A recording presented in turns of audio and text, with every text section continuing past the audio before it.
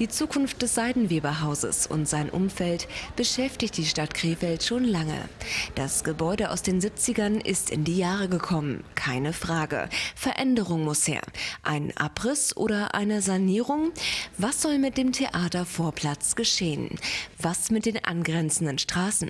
Diese Fragen um einen der zentralsten Punkte in Krefeld wurden jetzt an die Bürger der Stadt gerichtet. Im Glasfoyer des Stadttheaters lud Oberbürgermeister Frank Mayer zu einer Bürgerwerkstatt ein. Die Zukunft des Seidenweberhauses ist eine der emotionalsten Debatten in Krefeld, sagte er.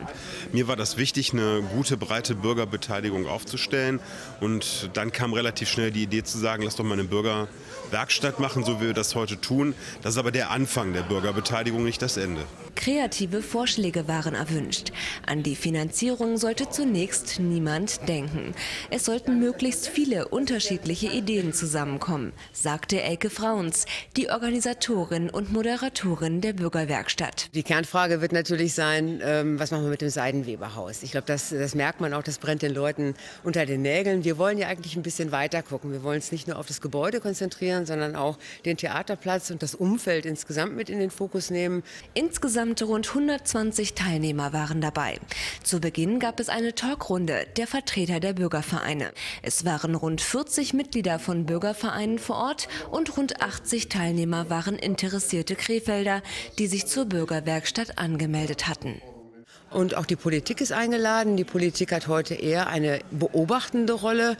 Äh, es ist wirklich, wie der Name schon sagt, eine Bürgerwerkstatt, wo Bürgerinnen und Bürger planen können. Und ja, die sind eingeladen worden über die Zeitung, über persönliche Einladungen. Sie sind entweder ganz normale, nicht organisierte Bürgerinnen und Bürger oder aber auch Vereinsmitglieder, Vereinsvorsitzende. Also eine ganz bunte Mischung aus der gesamten Stadt. Ich bin gespannt, was jetzt in den Diskussionen passiert, wenn die Meinungen aufeinandertreffen, sich ein wenig reiben und dabei vielleicht auch ganz neue Ideen Szenarien entstehen, was passieren kann. Neun Arbeitsgruppen sollten mögliche Szenarien zur Zukunft des Seidenweberhauses und des Theatervorplatzes diskutieren. Konzentriert und leidenschaftlich widmeten sich die Teilnehmer ihrer Aufgabe. Schnell war klar, das Areal soll lebendiger wirken, barrierefrei sein und der Krefelder soll ohne Angst den öffentlichen Platz besuchen können.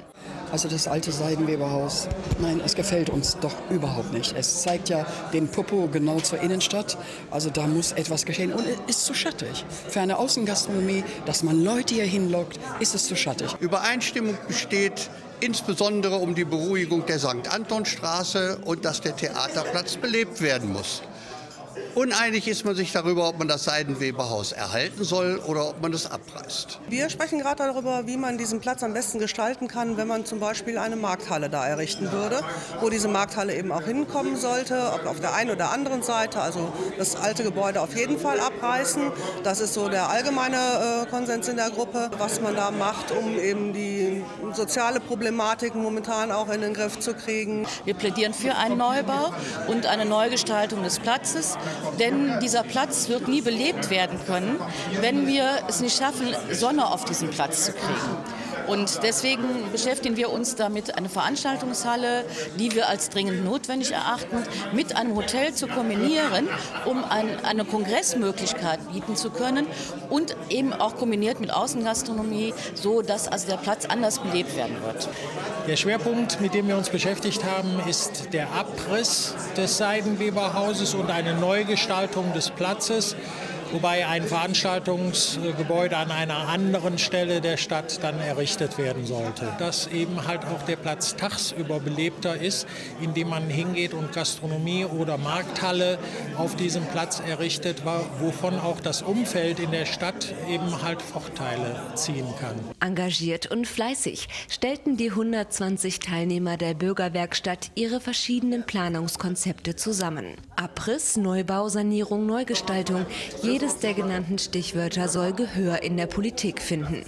Im politischen Prozess werden die Ideen alle noch mal diskutiert. Sie werden dann noch mal mit der Realität ein wenig konfrontiert. Wie sieht der finanzielle Rahmen aus? Welche Möglichkeiten hat man, Dinge zu tun? Aber alles, was heute gemacht wird, ist nicht vergeben, sondern ist Bestandteil der öffentlichen Diskussion und der politischen Diskussion. Die Durchführung der ersten Bürgerwerkstatt der Stadt Krefeld lief erfolgreich. Schnell entstanden gemeinsam entwickelte Konzepte auf Flipcharts. Auch wenn nicht alle innerhalb der Arbeitsgruppen die gleiche Meinung teilten, das Angebot der Bürgerwerkstatt der Stadt Krefeld kam gut bei den Teilnehmern an. Ich komme hier aus Krefeld, bin hier auch aufgewachsen in Krefeld ja, und fand das ganz toll, dass heute hier sowas stattfindet, wo man dann wirklich äh, mal selber mitmachen kann, um etwas zu planen, was die Stadt auch nachhaltig verändern soll. Ich fand das Angebot der Bürgerwerkstatt sehr gut und ich wäre auch froh, wenn es in Zukunft öfter mehr Bürgerbeteiligung in Krefeld gäbe. Also ich finde das hervorragend, äh, weil der Krefelder an sich neigt dazu, seine Stadt immer ein bisschen äh, kaputt zu reden. Und äh, dadurch hat er jetzt von Anfang an die Möglichkeit mitzugestalten und hat hoffentlich anschließend keinen Grund rumzumaulen.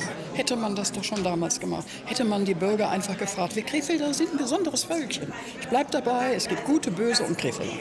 Ähm, ja, hätte man uns gefragt, denn ich sehe ja jetzt, wir sitzen mit acht Mann hier am Tisch.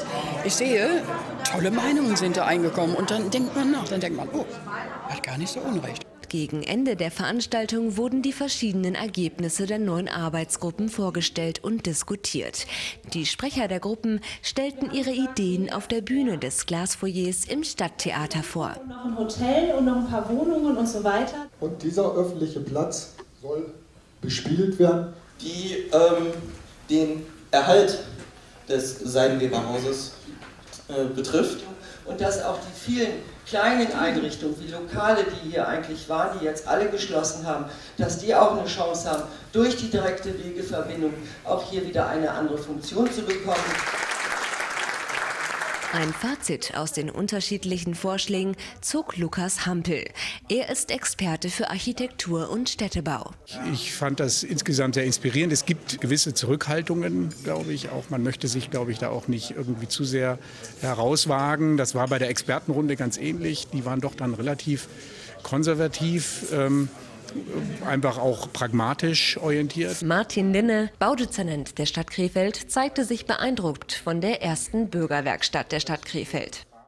Ja, zum einen bin ich fasziniert über die Intensität der Diskussionen äh, in der Bürgerschaft, in den neuen Arbeitsgruppen mit welcher Konzentration hier gearbeitet wurde. Wir werden im April eine Ausstellung in der Mediothek durchführen, über 14 Tage hinweg. Sie können sich aber auch im Internet von zu Hause, von überall aus anschauen und auch kommentieren, das ist ja ganz wichtig. Ähm, und all die Rückmeldungen, die wir dann bekommen, die werden wir zusammentragen, auswerten und für die politische Beratung dann aufbereiten. Ob Park, Gastronomie, Neubau oder Umbau, die Zukunft des Seidenweberhauses und seines Umfelds soll von den Konzepten der Bürgerwerkstatt beeinflusst werden.